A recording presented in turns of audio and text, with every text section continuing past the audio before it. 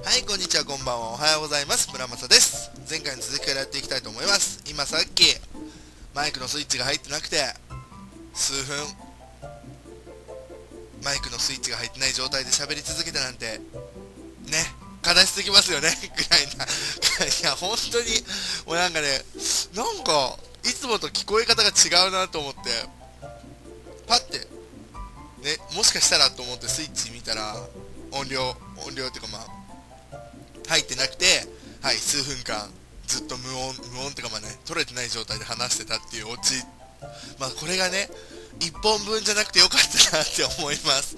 はいではでは続きからいきたいと思います。カルベローナが浮上して終わったと思いますが今回はねカルベローナに向かいたいと思います。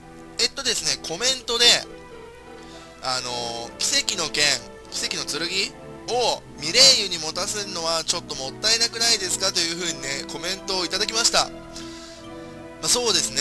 うん。若干、まあ、もったいない気もしますよねやっぱり。けどまあちょっとまだね物色物色って言ったらあれですけどしてる最中なんであそっか。別にこれ主人公に装備させていやでもな主人公まあまあまあまあまあまあまあまあいいか。これをミレイユに装備させればいいのか入れ替えればいいのか。理解。OK 完璧。こういうことですよね。はい情報情報というかねくれた方コメントくれた方ありがとうございます。ではではちょっとカルベローナに行きたいんだけどな。カルベローナってどこだっけ？ちょっとカルベローナえー、っとまず世界が違いますね。世界行きます。下の世界に行きましょう。あれ？あ違う合ってんのか。こっちで合ってんのか。でカルベローナで。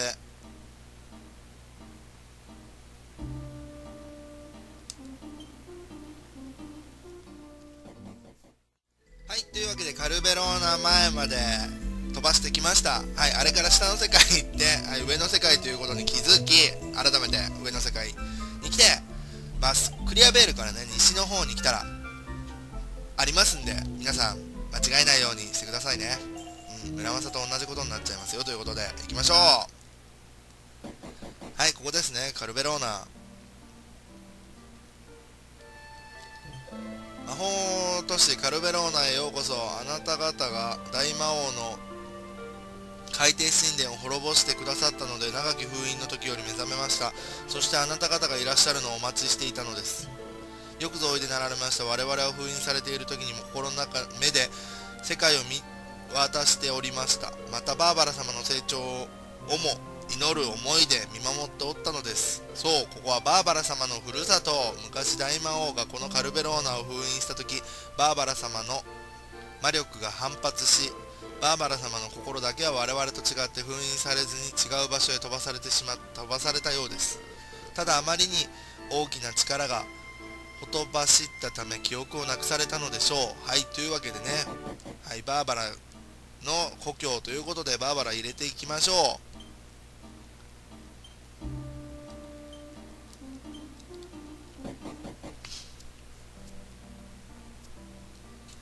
でなおかつここでですねえっと時のじゃあ砂の器だっけ？を持っとかないといかいけないんで砂の器って誰にあるっけ？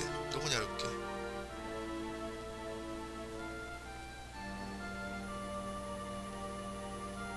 ちょっと待って。え？あ。あれ？砂の小さなメダル12枚もある。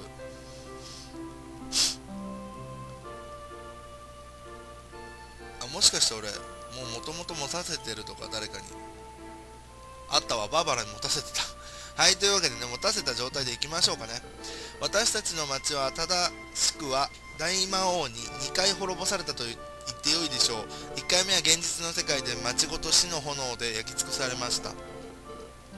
その時私たちは肉体から精神を解き放ち魂だけの存在となってもこの夢の世界へ。しかし大魔王の力は夢の世界にまで伸びてきました。私たちが夢の世界に気づいた。この町を今度はこの島ごと封印してしまったのです。なるほどな。わしら魔法を操る者は魂だけの存在となって生きることができるのじゃ。なるほどね。あよろず屋さん。鋼の木は欲しい。鉄仮面いらない。アモスが装備できるのか。何何え？あああら？てた急に止まるなよ。おーってて。ねえ焚き火の炎が消えそうよ。これじゃあ栗の実が美味しく焼けないわ。しょうがないな。えー、っとメラ。まったく。そんなに食いしん坊じゃ大魔女バーバレラ様みたいなスマートな魔女になれないぞ。なんですって？こらそんなこと言うならあげないわよ。逆になってるやん。わーいわーい。はい。わーいわーい。あそうなんや。お主人公がいる。偽物に注意。めっちゃ偽物やんあいつ。じゃああそこを無視してとりあえず行きましょうか。にゃーん。ふう。本棚は何もなさそうですね。はい。特に何もない。お小さなメダルありましたね。ラッキー。こっくりこっくり。いや探索編、うん、ちょっと早送りしてもよかったかな。まあいいや。ちょっとこのまま行きましょう。いやちょっと待って。この猫さんが邪魔すぎて。OK あれ？いけないのかよ。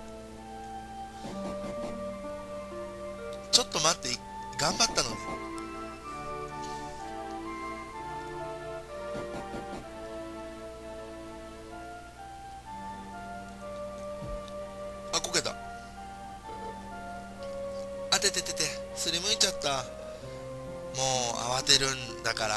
あら？血が出てるじゃない。ダメね。ほいみ。はいもう大丈夫よ。サンキュー。さあ行くぞ行くぞそれ。いやマジで。もうちっちゃい子でもホイミを使えるってすごいですよね。俺なんてレベル2ぐらいになってやっと使えたのに。なんてこった。ここに宿屋があるんかな。あ宿屋回り込めたわちゃんと。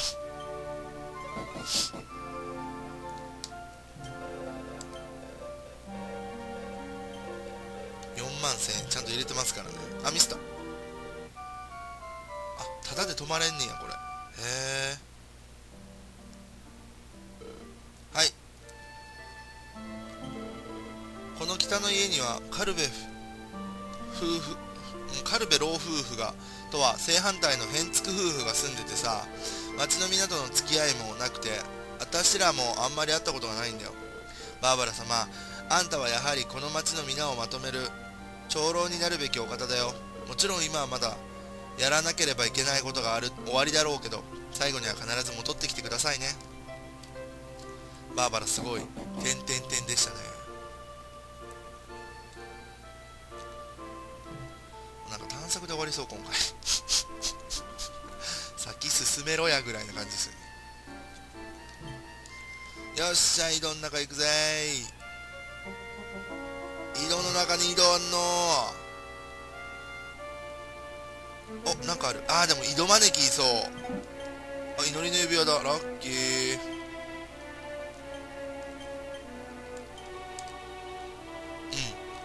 うん。安定の袋ですけどね。てへペロ。うーん。あでもそうだ。た力の盾。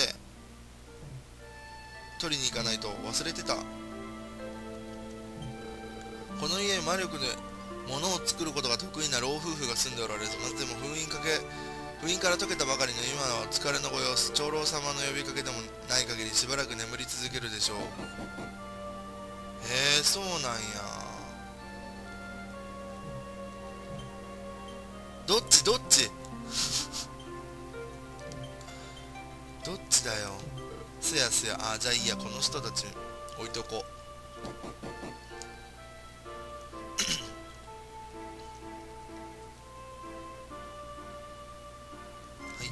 おや魔法の絨毯を持ってるのかい？でも今は元の力を失っているようだね。それはもともとこの町のカルベロー夫婦が作ったもの。あの二人ならきっと絨毯に魂を吹き込んでくれるよ。あじゃああの人たちを起こさないといけないんだな。じゃあとりあえ何？とりあえず戻ったからじゃあ追いかけましょうかね。先にやっとけばよかった。戦うと思ってました。はい。誰かお探しかな？はい。分かっとる分かっとる。それはこんな姿じゃ姿じゃろうやって。姿じゃろう。もしゃす。さあどうじゃ？探していたのはおそらくこのも姿のものじゃろう。ほっほ。これはモシャスといってかなりレベルの高い呪文でなわしもつい最近思えたのじゃ。それよりはてばあさんを見かけなかったがどこへ行ったのかの。これじゃね？ほらやっぱり。しわしもモシャスで猫になってみたんじゃが元に戻る。呪文を忘れてしもうたんじゃ。でも猫でいればしばらくはうるさいじいさんの相手をせんでいいから楽ちんじゃいいかい。じいさんには内緒じゃよにゃーん。全くどこをほっつき歩いてるのかうちのばあさんは。うんおやよくよく見たらバーバラ様ではないか。ほほう。長老武法ブボールが言っておったのは本当じゃったか。じきにバーバラ様が戻ると。長老もたまには正しいことを言うんじゃのう。結構長老ひどい言われようやな。わあわあわあわあ。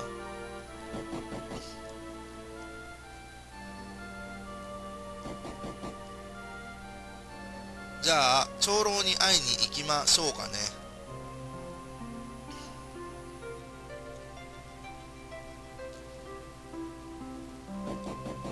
よし。ここはようこそおいでくださいました。この町の長老ブボール様はそこの階段を降りた先の湖のお屋敷におわれます。おられます的な。まどろみの剣欲しいあ封じの杖かいいな。月の奥義かいいな。ハルベロビュート。ムチかなんかですかね。ゾンビキラーいいな。結構欲しいものいろいろありますね。買えないけど。魔導士のローブ。ほんほんマジカルスカート。そうだよな。マジカルスカート欲しいなやっぱり魔法の鎧。魔法の盾。魔法の盾はねちょっと欲しいですね。まあいいや行こう。はい。ああお祈りしときましょうかね。はい。28のレベルの1番。これ全部消えてたらどうしようかな。本当。はい続けます。では行きましょうかね。あれ？何ここれは癒しの玉。心や体の傷を治す癒しの呪文を司る光が宿っています。へえ。これは活力の玉。もしもの時の戦いの呪文を司る光が宿っているわ。なるほど。そこの女神像には伝説の大魔女バーバレラ様の魂の亡骸が宿っておる。100年に一度この女神像からこの町の長となるものが生まれてきたのじゃ。へえ。そうなんや。では長老様に会いに行きましょう。はい。大魔女バーバレラ様は究極の魔呪文マダンテを編み出された。じゃがあまりの威力に扱えるものもごくわずか。今ではわしらの長老様がただ一人のお方なのじゃ不思議な木の実ですね。ラッキー。魔法の聖水とかも全部いらないな。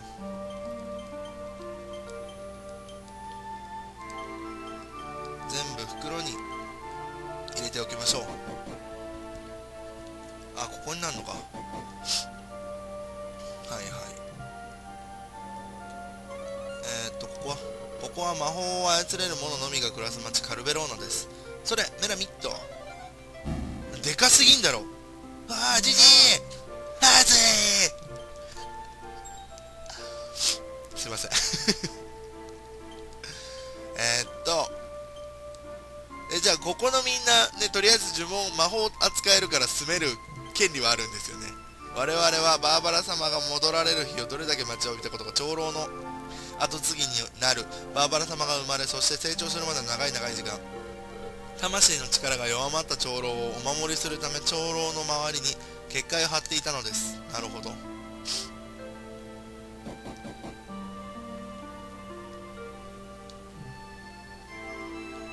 これな結界多分。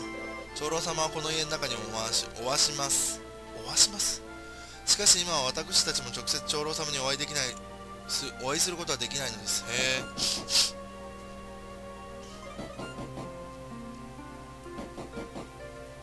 本当だ。やられたまあいいや。使おう。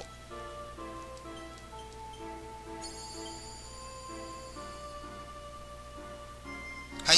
これをね使わないと会えないんですよね。ここを入るために必要なのであの時取っておいてください。ではでは行きましょうかね。あこれ直接話せないんだ。よく戻りましたね。バーバラ待っていましたよ。これまでのことなどいろいろとお話ししたいこともありますが私には残された時間が 時間がありまないのです。早速大切なことを伝えましょう。カルベローナに伝わるマダンテの呪文はもう知っていますね。はい。自分の持っている魔法力をそのまま相手のダメージとする最大の攻撃呪文です。ただし一度唱えるだけでその時の魔法力は全て使い果たしてしまいます。さあ私には時間があまりありません。大魔王もおそらくあなた方の動きを心の目で追っているはずです。急ぎましょう。目をつぶって。長老は目を閉じバーバラに魔力を送った。バーバラはマダンテの極意を手に入れた。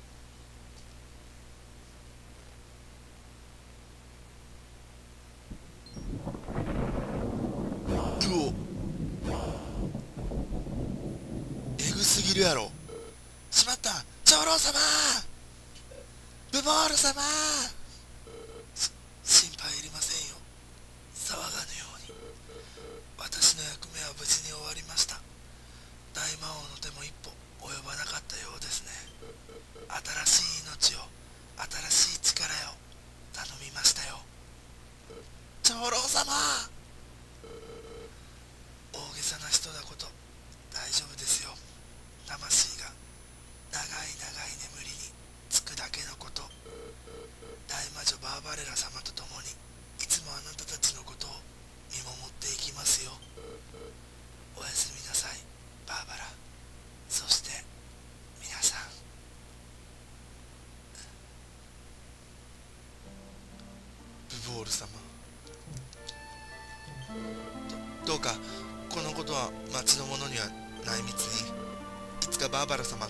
修行を終えて戻られるまで皆を不安にさせたくないのです。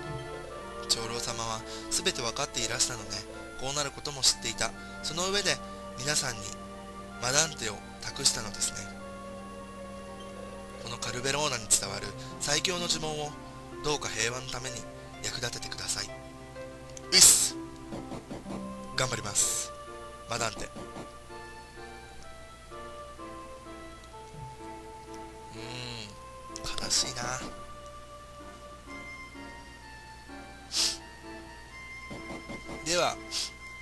ダンテの極意を手に入れたので次はですねあの眠ってた老夫婦のところに行きましょう。この人たちに、えー、っと魔法の絨毯戻してもらいましょうかね。先ほど長老様の心がわしらに語りかけてくださったブボール殿の失うことは悲しいことじゃ。しかしバーバラお前がここまで成長してくれた。いつかはお前がブボール殿をしのぐ大魔女になるじゃろう。わしらは魔法の力でいろいろなものを作ることを仕事してきた。バーバラが願望の時には羽の生えた服なども作ってやったもんじゃよ。そうそう魔法の絨毯なんかも作ったの。ん？魔法の絨毯を知っておるのか？おや？それは。なんと魔法の絨毯ではないか。懐かしいのう。じゃが長い間わしらの手を離れすっかり元気をなくしておるようじゃの。どれどれ。かふうどっこらしょ。これで大丈夫じゃ。元気に飛び回ってくれるぞい。やったね。ということでですねあの魔法の絨毯ゲットしました。ではではこれを使ってですねまあ次の目的地に向かいたいと思います。はい。まあでもね今回はこの辺で終わろうかなと思います。ちょうどねセーブ場所もあるんで。はい。あ違うここじゃねえ。あここで合ってる。はい。ではでは今回はこの辺で失礼したいと思います。ご視聴ありがとうございました。バイバーイ。お疲れ様でした。